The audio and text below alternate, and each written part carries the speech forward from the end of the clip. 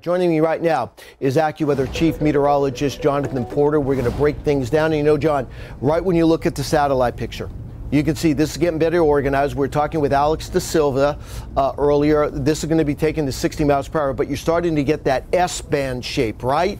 And that's an indication that things are getting better organized around Erin. Correct. You can also see that the uh, the thunderstorm uh, these the thunderstorms in these yellows and reds are starting to become more uh, consolidated around the entire periphery of the storm. So that's again another indication that this is on the way to some significant intensification. And it's slowing down. Yesterday at this point it was in the 20s, now it's 17. Right. What does that tell us? The wind shear is beginning to lessen. What I find scary, John, is that where you take Erin is now, look where it's going in that area north of the islands. And notice what we have on our key here. That's where the weakest wind shear is. And remember, what is wind shear? That's changing wind speed and direction as you go from the ground up through the atmosphere. And so when there's more wind shear, that can disrupt a storm circulation. Less wind shear, which is exactly where it's headed, that's an area, especially with warm water, where it's favored for intensification. Now, John, you know, I love history, and I know you agree with me on this graphic. It provides value, and here's where it provides value. Yesterday, when we looked at where Erin was and where uh, storms have tracked in that area during the month of August and September, there wasn't a single track, not one track coming into Florida. But Erin's not gained any north latitude here. So history says Florida is still not ruled out. That's right. Erin is down in at this particular location. This is the uh, U.S. East Coast, Florida in through here, North Carolina in through here, right along the coast. And so you can see that there are some tracks near Erin's current location that do go back toward Florida which is why we've not issued an all clear anywhere yet for direct rain and wind impacts from Erin, because while most of these tracks do what we call recurve, which is they uh, move back, the storms end up moving out to sea east of the Carolinas, there still are some tracks that get back to the East Coast, and that's why we continue to be monitoring this very vigilantly. John, I did the math. Current now, it's about 10 percent go toward the, uh, have uh, impacts along the East Coast. But yeah. here's the thing when you look at the historical tracks, a lot of the storms start taking a north northwest track very soon.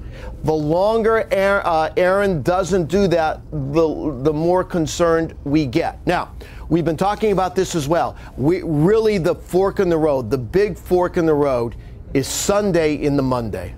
That's the time period when the upper level flow across this part of the Atlantic Ocean and, um, and northward should enable Erin to take a more northern course.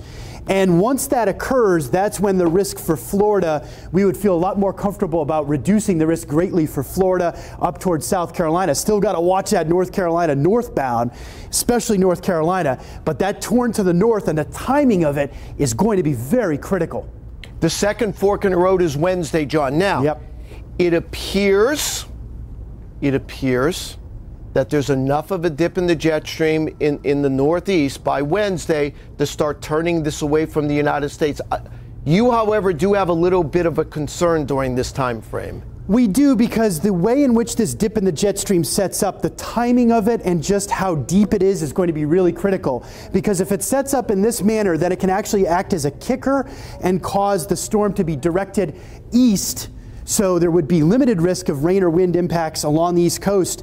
However, if this storm is, a, if this little jet stream disturbance is a little bit shaped a little bit differently or its timing is a little bit different, then that can actually draw the storm closer. That's why we still have this concern about the eventual impact risk here along the East Coast. And in fact, in the last 24 hours, some of these different computer models, and these are just a sampling of some of the many computer models, we look at 190 different forecast models here at AccuWeather. Some of them have tracks further to the west, closer to the North Carolina coast, which is exactly what AccuWeather hurricane experts have been concerned about.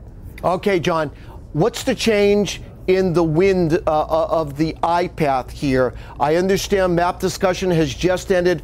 What are we going to be changing with this? We're just going to be making some small adjustments. Our team is doing this now to bring the uh, storm track a little bit, ever so closer to the south and west here. So a bit of a closer approach to Puerto Rico and the Virgin Islands can increase rain and wind impacts there. And we're also going to bring the edge of our window here right to the North Carolina coast.